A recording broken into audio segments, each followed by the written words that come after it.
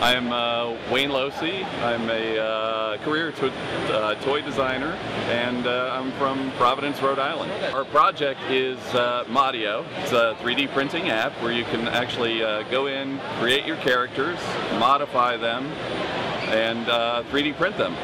It's available in the App Store, the, the Apple App Store. launched on this past Tuesday. the reaction's been great. The booth has been full all day. There's kids putting together pre-printed parts. We've got app demos going on. We've got a bunch of product that kids have been able to check out.